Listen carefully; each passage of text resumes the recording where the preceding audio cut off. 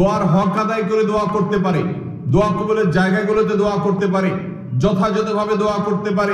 দোয়ার শর্ত পূরণ করে দোয়া করতে পারে। কায়মন বাক্যে দোয়া করতে পারে। চোখের পানি ফেলে দোয়া করতে পারে। দোয়া এত বড় অস্ত্র।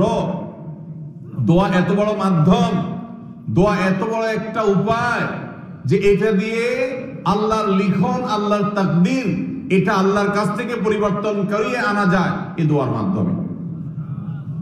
অথচ এই দোয়াও আমরা বেশি মানুষ করতে পারি না।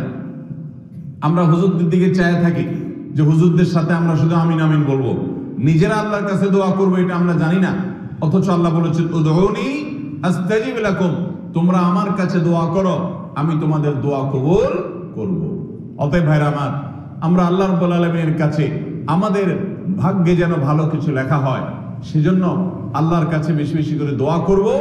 এবং আমাদের তাকদীরে যদি কোনো ক্ষতিকর কিছু থাকে, তো সেটা যেন আমাদের ক্ষতি না করে।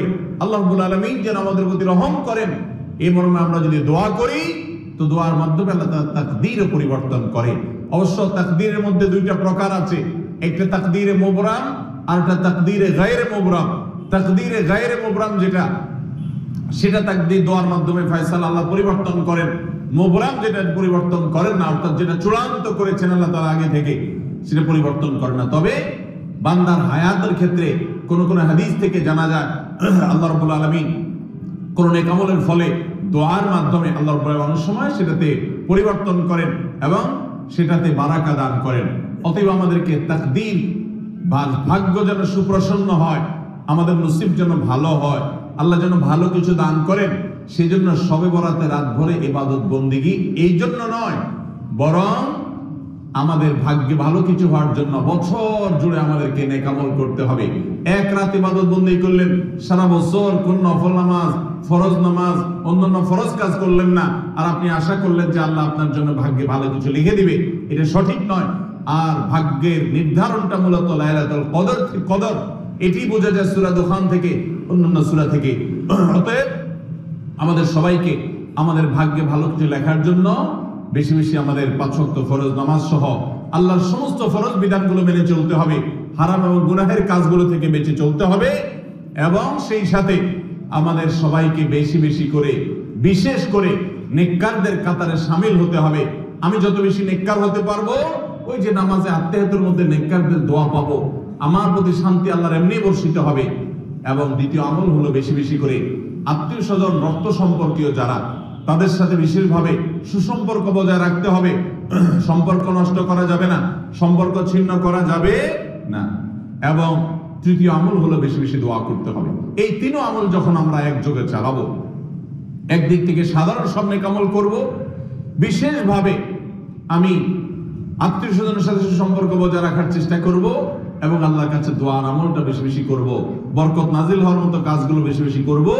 ইনশা আল্লাহ আল্লাহ রবুল আলমিন আমার নসিবে ভালো কিছু দিবেন এবং মন্দ কিছু থেকে আমাকে বাঁচাবেন।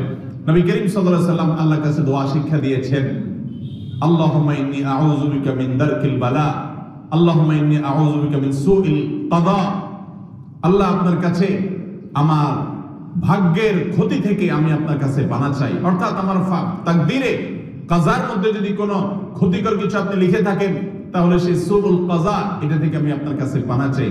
অতএব এই মর্মে আল্লাহর কাছে যত বেশি আমরা দোয়া করব, আল্লাহ রাব্বুল আলামিন আমাদেরকে তত বেশি হেফাজত করবেন। আল্লাহ তাআলা আমাদের নসিবে দুনিয়া এবং আখেরাতে ইহকালে এবং পরকালে ভালো কিছু লেখেন। আমাদের নসিবে যেন ভালো কিছু হয়, সেই তৌফিক আল্লাহ আমাদেরকে দান করেন। আমরা সবাই আমলগুলো করব তো ইনশাআল্লাহ? আল্লাহ আমাকে আপনাকে আমাদের সবাই কামলের তৌফিক দান করুন। জাযাকুমুল্লাহ খায়রান। আল্লাহর এলেমে, আল্লাহর কাছে একটা দিন সবচেয়ে বেশি শ্রেষ্ঠ, বরকতময়, সেটা আল্লাহ তারা না বলে শুধুমাত্র ইয়াহুদি খ্রিস্টান এবং মুসলিম জাতিকে নির্বাচন করার দায়িত্ব দিয়েছেন। যে তোমরা একটা দিন নির্বাচন করো। তো ইয়াহুদিরা শনিবার নির্বাচন করেছে। কোরআনে কারিমে তার উল্লেখ আল্লাহ তালা করেছেন। শনিবার নির্বাচন করেছে। এই জন্য ইয়াহুদিদের কাছে ধর্মীয়ভাবে গুরুত্বপূর্ণ সপ্তাহের পবিত্র দিন হলো কোনটা? শনিবার। আল্লাহ যেহেতু তাদেরকে রাইট দিয়েছেন, তোমরা যেটা চুজ করো, তারা চয়েস করছেন আল্লাহ বলছেন, ঠিক আছে, এটা তোমাদের জন্য সপ্তাহের পবিত্রতম দিন। ওকে এরপর খ্রিস্টানদেরকে আল্লাহ তালা দায়িত্ব দিয়েছেন যে, তোমরা একটা দিন নির্বাচন করো। তখন তারাও একটা দিন নির্বাচন করল, সেটা হলো রবিবার। মোহাম্মদ সাল্লাহ সাল্লামকে আল্লাহ দায়িত্ব দিলেন, আপনি একটা দিন নির্বাচন করেন। তখন মোহাম্মদ সাল্লাহ সাল্লাম নির্বাচন করলেন শুক্রবার। এবং হাদিসের শেষ অংশে এসে আমাদেরকে জানানো হচ্ছে যে আল্লাহ আলমিনের কাছে এই দিনটি হলো সবচেয়ে শুক্রবারটাই হলো সবচেয়ে সেরা এবং শ্রেষ্ঠ। অর্থাৎ আল্লাহ তালা মোহাম্মদ সাল্লাহ সাল্লামকে তৌফিক দিয়েছেন সবচেয়ে সেরাটা নির্বাচন করবার। যদিও বাকিরা যেগুলো নির্বাচন করেছেন, সেগুলো আল্লাহ যেহেতু তাদেরকে রাইট দিয়েছেন, স্বাধীনতা দিয়েছেন, তাদের সেটা নির্বাচন করে তারা কোনো গুনাহ করেন নাই, অপরাধ করেন নাই, সেটা তাদের জন্য বরকতের দিন। বা সবচেয়ে শ্রেষ্ঠ দিনই হলো এই জুমার দিন। জুমার শব্দের অর্থটা কি? এই শব্দের অর্থের মধ্যে কিন্তু তাৎপর্য লুকিয়ে আছে। জমা শব্দের অর্থ হলো একত্র করা। সমাজ বিচ্ছিন্ন থাকলে ভালো নাকি ঐক্যবদ্ধ থাকলে ভালো? জুমার কাজই হলো সমাজকে ঐক্যবদ্ধ করা। জুমার দিন আমাদের বাংলাদেশের প্রেক্ষাপটে মানুষকে যেভাবে ঐক্যবদ্ধ করা যায়, রাজনৈতিকভাবে, ব্যবসায়িকভাবে, অন্য কোনোভাবে এভাবে মানুষকে একত্র করার কোনো পসিবিলিটি আছে? সম্ভব? বাংলাদেশের সমস্ত রাজনৈতিক দলগুলো যদি ঐক্যমত পোষণ করে, একমত হয়, সব দলগুলো যে আমরা আমাদের দেশের জনগণকে সপ্তাহে একটা দিন আধা ঘণ্টার জন্য একত্র করতে চাই, সামাজিক সমস্যাগুলো নিয়ে কথা বলতে চাই, কথা শোনাতে চাই। তো সারা বাংলাদেশের প্রতিটি প্রান্তে প্রান্তরে মানুষকে একত্র করা সপ্তাহে একদিন সম্ভব? সম্ভব না। খাবার দিয়ে টাকা দিয়েও আনা সম্ভব হবে না। দেখুন, সমস্ত মিডিয়াগুলো, সকল টিভি চ্যানেল বাংলাদেশে প্রায় ত্রিশ, চল্লিশটা টেলিভিশন চ্যানেল, সবগুলো টিভি চ্যানেল একযোগে যদি চলে, সবগুলো টিভি চ্যানেলের সামনে, সবগুলো টিভি চ্যানেলের টিভি সেটের সামনে অ্যাট এ টাইম সবচেয়ে পিক টাইমে সবচেয়ে ইম্পর্টেন্ট টাইম কখন সেটা বলেন তো? রাত নয়টা থেকে দশটা বা আটটা থেকে দশটা। এই তো সবচেয়ে পিক টাইম মানুষ টেলিভিশনের সামনে থাকে।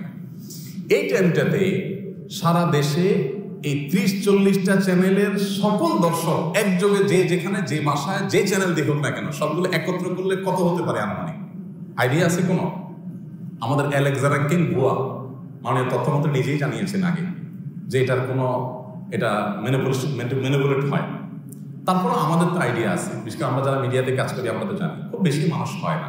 কয় লাখ হবে? দশ লাখ, বিশ লাখ, পঁচিশ লাখ, ত্রিশ লাখ? কি বলেন? আচ্ছা জুমার দিন সাড়ে বারোটা থেকে দেড়টা পর্যন্ত এই এক ঘণ্টা মসজিদে কি পরিমাণ মানুষ সারা দেশে বসে থাকে? বাংলাদেশের মসজিদের সংখ্যা কত? কয়েক লাখ মসজিদ। দু লাখ না তিন লাখ? তিন লাখ মসজিদ সম্ভব। তিন লাখ মসজিদ যদি হয়, তিন লাখ মসজিদে এভারেজ যদি পাঁচশো করে লোক হয়, তাহলে তিন লাখের পাঁচশো করে গুণ দিলে কত কোটি হয়? দেড় কোটি। দেড় কোটি মানুষ জুমার দিন তারা ফ্রেশনেসের সাথে এসে এই এক ঘণ্টা আল্লাহর করে হাজিরা দেয়।